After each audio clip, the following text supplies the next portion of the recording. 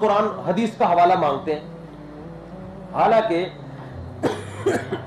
इनको ये नहीं पता कि कौन सी चीज़ें ऐसी हैं जिनमें हदीस का मुतालबा जायज़ नहीं है, क्योंकि उस बारे में हदीस है ही नहीं सिरे से, बल्कि उसका ताल्लुक है इजतिहाद से।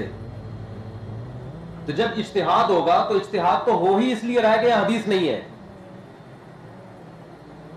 इश्तिहाद तो हो इसलिए रहा है कि यहाँ क्या है? हदीस नहीं है। तो उसमें वो हदीस, इसकी मिसाल ऐसे, जैसे जमातुल मुस्लिमीन वाले कहते हैं कि जो हनफी लोग कहते हैं कि एक दिरहम के बकदर नजासत लगी हो। इससे कम कम तो मुआफ है, इतनी नजासत मुआफ नहीं है। इससे कम मुआफ हो जाएगी। वो कहते हैं इसकी क्या दलील है कुरान हदीस में?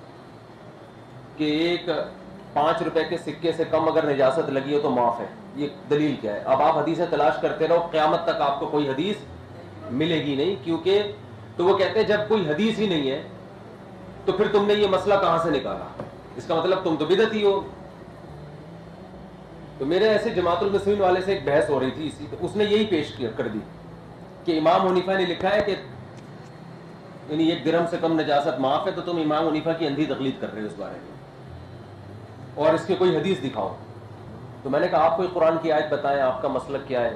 उसने कहा, हमारे पास कुरान की आयत है, वो सियाबा का फतह अपने कपड़ों को पाक रखो। तो उसमें तो दिरहम और कम दिरहम की कैद नहीं है ना? तो इसमें तो कोई कैद नहीं है कि इतनी पाक रखो।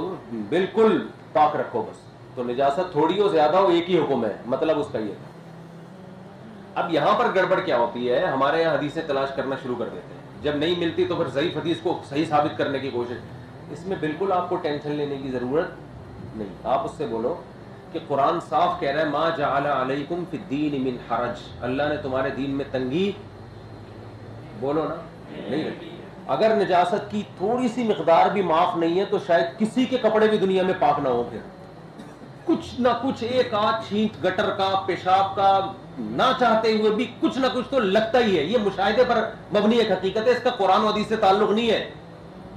अब वो इसमें भी हदीस मांगते कि हदीस में दिखाओ कि तो थोड़े से कपड़े तो हर आदमी के नापाक होते हैं। ये हदीस में थोड़ी, ये तो मुशाहिदे से दिखाएँगे ना। तो इससे पता चलता है कि कुछ ना कुछ मकदार बहरहाल क्या है। हर चीज़ में एक मोतद भी, शरीयत का उसूल भी, हर चीज़ में एक निसाब होता है।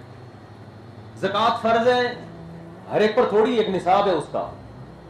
नमाजें फ़र्ज़ है, एक मकदार है उसकी। रोज़े फ़र्ज़ है, एक मकदार है। तो नापाक कपड़ों में नापाक की तारीफ़ कब सादिक आएगी? उसकी भी एक क्या है? मकदार है।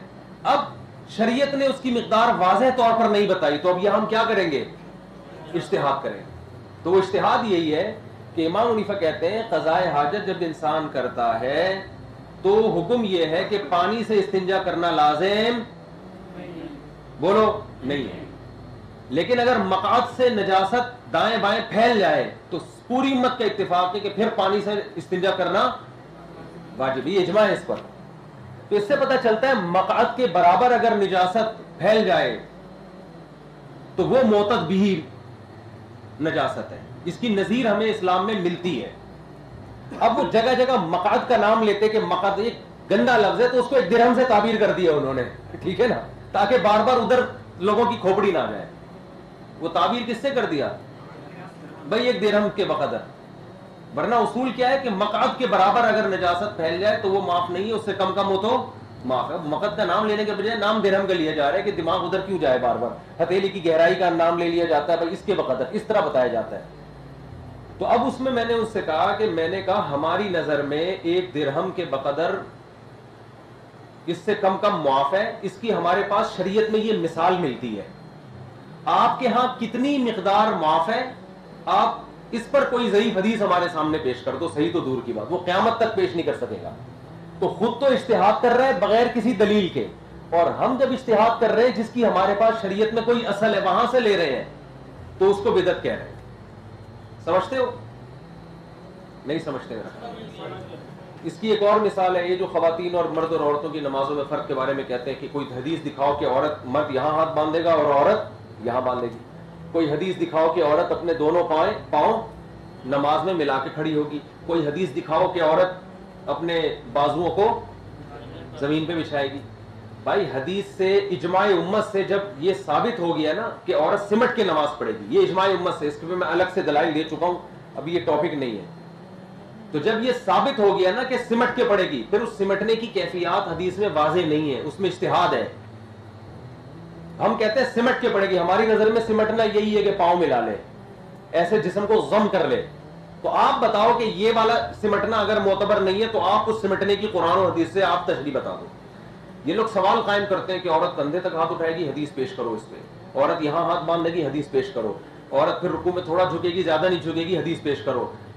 और फिर इनके लोग बड़े मुतासर होते देखो, किसी मसले पर हनफियों के पास, शवाफी के पास कोई हदीस नहीं हदीस भाई एक एक चीज़ पे नहीं होगी, हदीस सिमटने पर है। अब सिमटने की कैफियत हमारी नज़र में तो ये है आपकी नज़र में कोई सही कैफियत हो तो आप बता दो।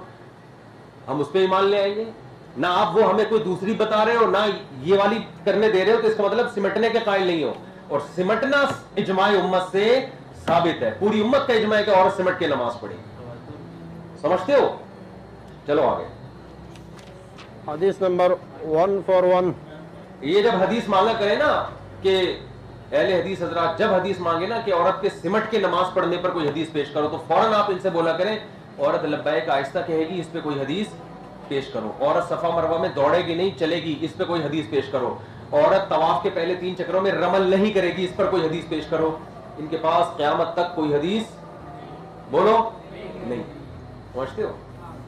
तो जब जब ये साबित हो गया ना कि औरत सिमट के नमाज़ पढ़ेगी, ये इजमाई उम्मत से, इसके मैं अलग से दलाइल दे चुका हूँ अभी ये टॉपिक नहीं है। तो जब ये साबित हो गया ना कि सिमट के पड़ेगी, फिर उस सिमटने की कैफियत हदीस में वाजे नहीं है, उसमें इश्तिहाद है। हम कहते हैं सिमट के पड़ेगी, हमारी नज़र में सिमटना यही है कि पाँव मिला ले, ऐसे जिसम को जम कर ले। तो आप बताओ कि ये वाला सिमटना अगर मोतबर नहीं है तो आप उस सिमटने की कुरान और हदीस से आप तशरी बता दो। ये लोग सवाल कायम करते हैं कि औरत कंधे तक हाथ उठाएगी, हदीस पेश करो इस पे। औरत यहाँ हाथ बाँध बांधेगी, हदीस पेश करो। औरत फिर रुकू में थोड़ा झुकेगी, ज़्यादा नहीं झुकेगी, हदीस पेश करो।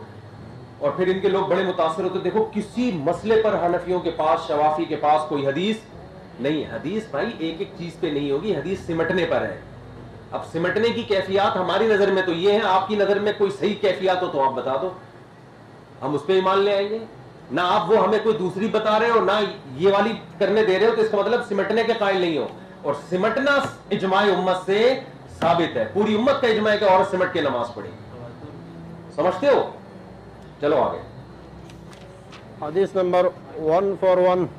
ये जब हदीस मांगा करे ना कि अहले हदीस हजरात जब हदीस मांगे ना कि औरत के सिमट के नमाज़ पढ़ने पर कोई हदीस पेश करो तो फ़ौरन आप इनसे बोला करें औरत लब्बैक आहिस्ता कहेगी इस पे कोई हदीस पेश करो। औरत सफ़ा मरवा में दौड़ेगी नहीं चलेगी इस पे कोई हदीस पेश करो। औरत तवाफ के पहले तीन चक्रों में रमल नहीं करेगी इस पर कोई हदीस पेश करो। इनके पास क्यामत तक कोई हदीस? बोलो। नहीं। पहुँचते हो?